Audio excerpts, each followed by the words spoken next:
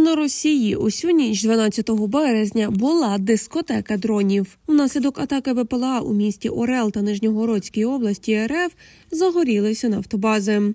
Російські телеграм-канали та місцева влада повідомили про звуки вибухів в Орлі і що там впав дрон. А також опублікували фото і відео пожежі нафтобази. Вранці у Лукойлі повідомили, що робота технологічної установки тимчасово зупинена у зв'язку з інцидентом. Крім того, губернатор Білгородської області РФ В'ячеслав Гладков повідомив, що внаслідок атаки, нібито українських безпілотників у Білгородській області, без світла залишилися сім населених пунктів.